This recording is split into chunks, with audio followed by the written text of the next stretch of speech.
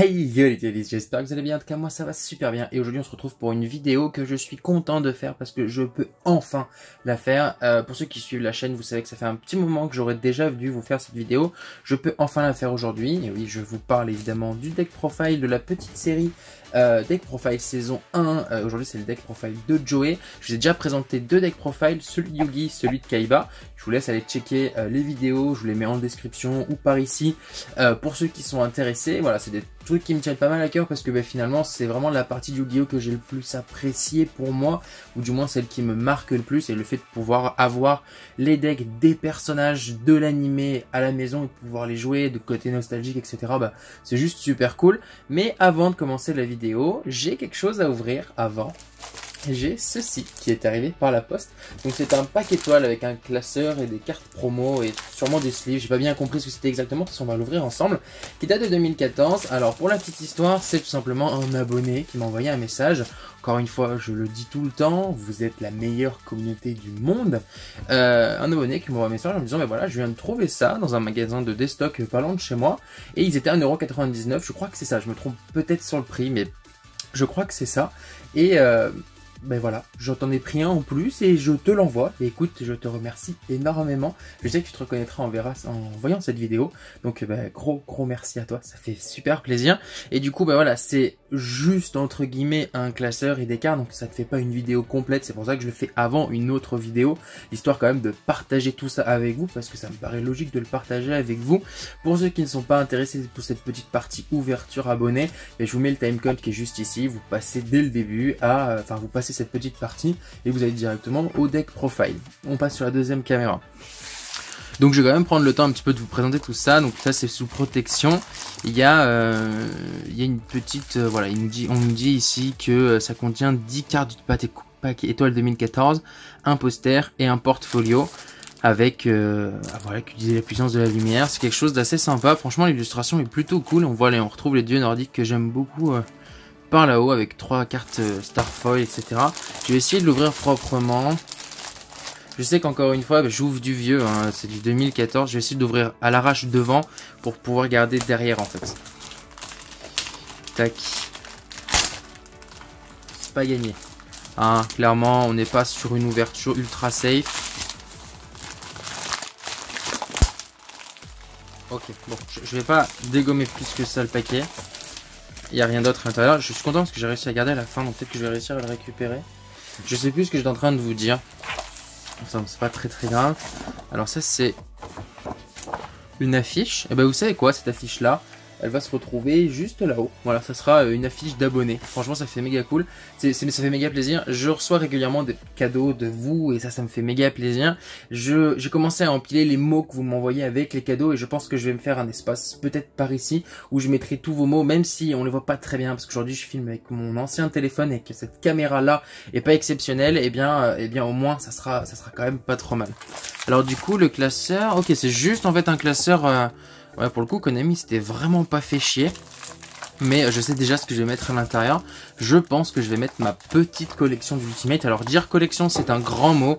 Parce que je dois avoir euh, à tout casser une vingtaine d'Ultimate. Mais j'aime beaucoup cette rareté. Et, euh, ben, franchement, franchement, le fait de la mettre dans un classeur qui m'a été offert par un abonné, ben, mine de rien, c'est le, truc en plus de se dire, ben voilà, à chaque fois que je les regarderai, que... Euh, que c'est un bonnet qui me l'a offert et ça c'est ça c'est quand même assez cool. Ok, et en fait... Ah oui, ok, d'accord, je crois que j'ai compris. Y a pas un truc genre on peut glisser la feuille par ici? Je pense c'est ça le bail. Parce que là j'ai l'impression qu'il y a une double... Ah, c'est par dessous. Ouais, je pense que c'est ça. Regardez. Tac. Ouais, ok. Bon, la fille, je la mettrai quand même là-bas. Parce que bah, comme ça, ça fait un gros big up à cet abonné-là. Et puis, euh, montrer un petit peu que bah, je considère vos cadeaux euh, dans mes vidéos. Tac, voilà, bon, ça donne ça grosso modo. Là, je vais l'enlever parce que j'ai peur de l'abîmer. Mais voilà, ça, reste un classeur euh, basique, entre guillemets. Donc c'est pour ça aussi que ça fait pas une vidéo complète. On a quand même un petit poster de cartes. Alors ça, ça servait quand même pas à grand chose. Ah ben voilà, en fait, il y a les deux, il y a les deux affiches. Bon, bah, j'essaierai d'en mettre au moins une derrière. Et un petit poster de cartes qui reprend toutes les cartes de l'édition. Ça c'est quand même grave cool. Il y a des cartes sympas. Hein. Il y a du X6 sympa. Il y, a, il y a des trucs cool. Il y a des trucs cool. C'est plutôt sympa. Après, voilà. Ça reste du Battle Pack. Ça reste du pack étoile, pardon. Ça reste du Starfoil. C'est pas la meilleure rareté du monde, mais c'est un cadeau d'abonné. C'est du 2014. Ça fait toujours méga plaisir à ouvrir. Et puis, ben, nous, on va aller s'ouvrir ça. Hein. C'est fermé des deux côtés. Donc, vous savez que j'aime pas trop ouvrir le scellé. Mais là, c'est un cadeau. Enfin, j'aime pas garder le scellé, pardon. Et là, dans tous les cas, c'est un cadeau d'abonné. Donc, euh, je me, je me dois de l'ouvrir hein, naturellement. Et puis, bah, histoire d'aller voir un petit peu ce qu'il ce y a à loot, quoi, carrément. Alors, alors du coup, par contre, je vais juste essayer de. Ça doit être les trois cartes Starfoil. Bon, on va les ouvrir de la fin, comme je faisais les ouvertures au tout début de la chaîne. Alors, euh, le génie de la batterie. Numéro 7, ligne de chance. Steven, si tu vois cette vidéo, dis-moi si tu as dans le numéro 7. Marchand euh, ésotérique. Mini courage. La bête nordique Gulfaxi. Lumière brillante. Valkyrie ascendant nordique. Et là, du coup, ça doit être les trois cartes de tout à l'heure.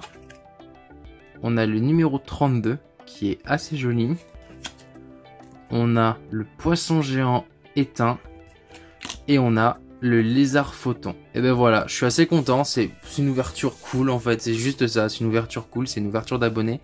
Et, euh, et ça fait plaisir. Voilà, peut-être que j'ai euh, le numéro 7 peut être assez cool. Enfin voilà, c'est plutôt cool. Bref, bref, bref, on va commencer cette vraie vidéo. On va commencer le deck profile. Je suis content d'avoir ouvert ça encore une fois. Je, le dis tout le temps, mais vous êtes vraiment la meilleure communauté. Enfin, vous pensez à moi, vous m'envoyez des messages régulièrement. Euh, ne serait-ce que pour me dire que vous aimez ce que je fais. Euh, vous n'êtes pas du tout obligé de le faire. Et le fait que vous me l'envoyez volontairement, bah, ça fait toujours méga plaisir en soi. Et puis, euh, bah, encore une fois je suis pas là pour gratter des cadeaux ou, être un profiteur comme on a pu me le, reprocher. C'est pas du tout, du tout l'idée. Et, d'ailleurs, bah, je, vois bien comment la communauté réagit. Je vois bien que l'ensemble d'entre vous ne, le ressentent pas comme ça et on va dire que c'est le principal. On passe sans plus attendre à cette deuxième partie, donc 7 minutes 23 ou 24 en fonction de quand commencera la vidéo, euh, où vous allez pouvoir commencer à regarder la vidéo du deck profile de Joey. Donc c'est un deck qui, comme les autres decks profile, j'ai travaillé en 40 cartes. On retrouve évidemment les cartes principales de Joey de la saison 1. Beaucoup, beaucoup de monstres normales et on va les voir ensemble. Et quand même pas mal de fusions par rapport à la saison 1.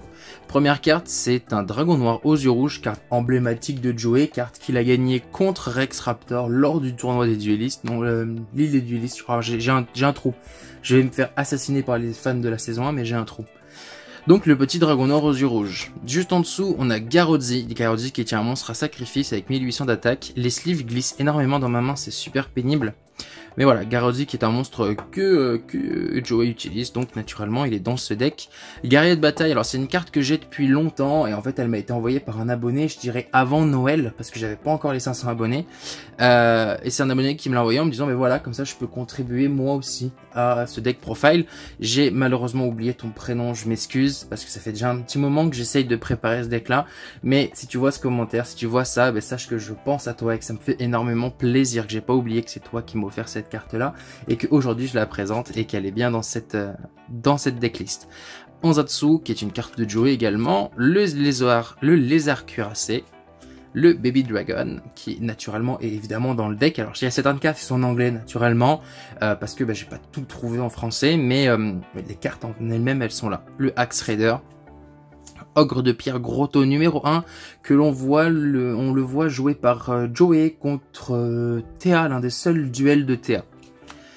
Léorme, pareil, on le voit euh, plusieurs fois dans les mains de Joey. Le glaive de l'alligator, je suis pas sûr qu'il le joue beaucoup dans la saison 1, mais du moins on le voit dans ses mains et il le joue beaucoup à partir de la saison 2, mais il est déjà dans son deck dans la saison 1.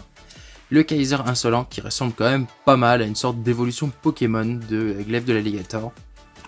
Le bœuf de bataille, Pareil, un sacrifice 1800, c'est pas forcément ce qu'il y a de plus worse, mais rappelons qu'on est à la saison 1 et qu'il n'y a pas besoin de sacrifice pour invoquer les monstres, donc finalement ça fait un gros monstre.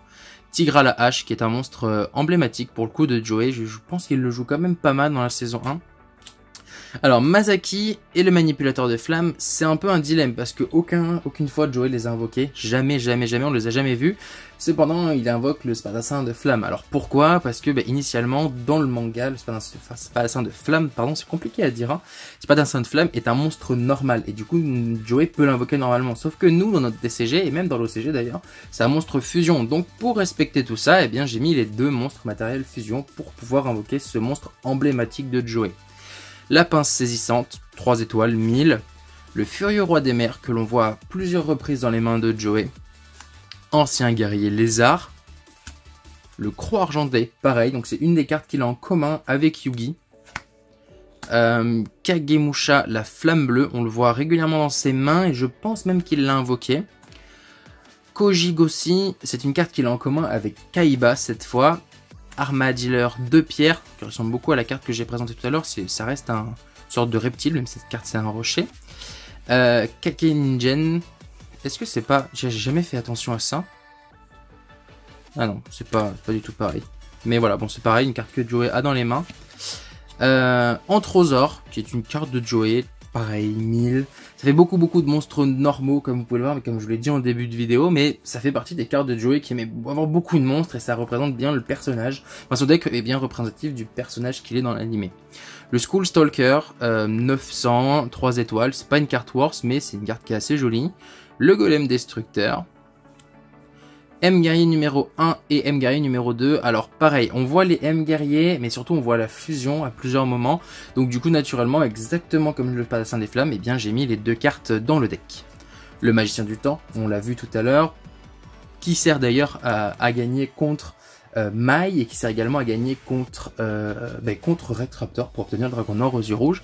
Donc évidemment présent dans le deck, le Copycat le garde des marées, sachant que dans l'animé, c'est euh, son compatriote, j'ai oublié son nom, euh, qui a le garde des laves, et en fait ça fait une petite partie de l'histoire, donc naturellement le garde de marée est dans le deck, le chasseur d'épée, alors il ne l'invoque pas dans la saison 1, mais on le voit à plusieurs reprises dans ses mains, et il l'invoque à partir de la saison 2. La troupe d'assaut Goblin, pareil pour cette carte là, on la voit dans ses mains, mais il ne l'invoque pas. Salamandra, ça il l'utilise sur le Spadassin des Flammes, justement, gagner un monstre feu équipé de cette carte gagne 7 en attaque, c'est assez énorme quand même. Bouclier et épée qu'il échange lors de sur le bateau euh, pour aller sur l'île des duellistes. Le Monster Reborn, naturellement. La petite polymérisation pour pouvoir fusionner les différents monstres dont je vous ai listé les noms tout à l'heure. Le kunai avec chaîne, pareil, qui récupère sur le sur l'île des duellistes. D'ailleurs, je crois qu'il récupère le magicien, des le magicien du temps, le kunai chaîne et le bouclier et épée sur le bateau. La trappe d'épines qu'il utilise à plusieurs reprises, donc une carte piège, et le profanateur de tombe. Voilà, c'était la dernière carte euh, de ce deck, tout simplement. Donc c'est un deck, hop, je vais vous le représenter très rapidement, euh, qui se constitue quand même de 1, 2, 3, 4, 5, 6, 7, 8, 9, 10, 11, 12, 13, 14, 15, 16, 17, 18, 19, 20, 21, 22, 23, 24, 25, 26... 29 monstres normal, 1, 2, 3, 4, 5 monstres à effet et tout le reste en magie piège. Ça fait vraiment très peu par rapport par exemple au deck de Yugi qu'on avait pu voir où il y avait justement beaucoup de cartes magie très situationnelles, je vous l'accorde, mais quand même beaucoup de cartes magie. Et il nous reste eh bien tout simplement les fusions, donc il y en a quand même 5, euh, il y a 5 fusions dans ce deck là. Le Spadassin des Flammes, naturellement, manipulateur plus Mazaki, donc voilà, ça fait... Euh, ça fait le Spadassin des Flammes, tout simplement. Le dragon millénaire qu'il utilise à plusieurs reprises, qui est un monstre qui est vraiment stylé. D'ailleurs, je me demande s'il l'utilise pas contre Mai justement. J'en ai une en secret, euh, mais je la laisse dans mon classeur parce qu'elle est beaucoup trop classe, donc j'ai mis une, commune dans ce deck-là. Alors, Gilta, euh, oui c'est ça, c'est Giltia, pardon. Euh, c'est un monstre qui que, que on peut tout simplement pas invoquer dans ce deck-là. C'est juste un monstre parce que c'est le deck de Yugi. Euh, c'est un monstre qu'il utilise contre Boone. Je crois que c'est Boone le nom de ce petit. Je vous mets une petite image juste ici. Euh, un monstre qui joue que avec Bandiken etc qui coince dans une grotte etc et il l'invoque également comme le spadassin qui est juste ici parce que c'est un monstre normal dans le manga et sûrement considéré pareil dans l'animé donc je l'ai mis dans le deck pour respecter le deck profile mais on ne peut pas l'invoquer puisqu'il faut le gardien du labyrinthe plus la protectrice du trône de garde qui ne sont absolument pas dans le deck de Joey tac hop je vous ai, je vous ai spoil du coup. Le dragon, glaive de l'alligator et le guerrier euh, carbonara. Ça ressemble beaucoup aux pâtes carbonara. Bref, euh, détournement de produits, tout ça, tout ça. C'était le deck profile de Joey. Dites-moi ce que vous en pensez. Moi, perso, je suis content de l'avoir enfin terminé, sachant que bah, du coup, j'ai pas terminé de travailler mes decks profile. Euh, J'en ai fait trois pour l'instant. Il en reste encore plein. J'ai presque terminé le deck profile de Pegasus, mais j'ai également pratiquement terminé le deck profile de euh, My Valentine. J'en ai encore plein sous le pied. J'aimerais beaucoup faire le deck profile de Rex Raptor, Insectoraga, euh, le pêcheur légendaire, etc. Mako Tsunami, pardon. Donc, euh, donc voilà, j'aime beaucoup ce format. C'est vraiment une partie de l'animé qui me plaît beaucoup. Et le fait de pouvoir récupérer ces decks-là à la maison avec des cartes... Euh, alors évidemment, sortir avec ce deck-là, un Spadassin des Flammes ou un Dragon Millénaire, c'est ultra compliqué, voire presque impossible, mais dites-vous du coup que quand ça sort, bah, c'est génial quoi. Enfin, et puis bah, dites-vous que les decks qui sont en face de vous, c'est pas des gros, euh, des, gros decks méta, OTK, etc. Euh, c'est des decks, euh, enfin quand je joue fun en tout cas, c'est des decks fun des personnages de l'animé, donc ça reste des decks situationnels et du coup c'est quand même plutôt cool à jouer.